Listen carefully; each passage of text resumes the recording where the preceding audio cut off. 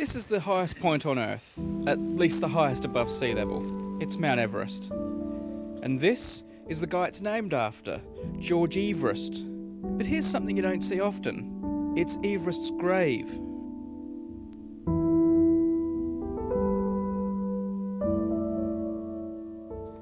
I do wonder if those people waiting for the bus have any idea, but we'll come back to this in a moment.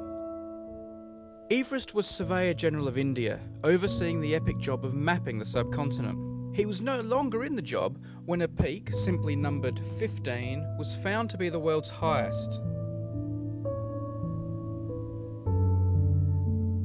With an agreed local name hard to find, Everest's successor suggested, well, calling it Mount Everest. Somewhat humbly, Sir George didn't agree. He thought locals would find it hard to pronounce and write. But 22 years after his retirement, and 13 years after it had been established as the world's highest peak, the name Mount Everest was adopted. And it seems Sir George was right about pronunciation. We all know Everest has since become Everest. George Everest died a year after the naming, which takes us back to this churchyard. It's St Andrew's in the English town of Hove, near Brighton, in the shadow of a local supermarket. Tesco's, they're everywhere.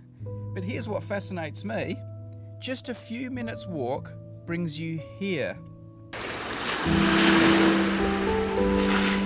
That's right, George Everest, whose name adorns the highest point on Earth, is essentially buried at sea level. The mighty mountain now has several local names, but Everest seems to have stuck.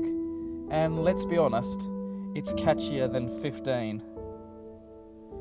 As an aside, the world's second highest mountain, K2, has kept its old number designation, an arbitrary number attached to a peak in the Karakoram range before its true height was known. If you'd like to see more footage of Mount Everest and bits and pieces I filmed while I was there, check out these links.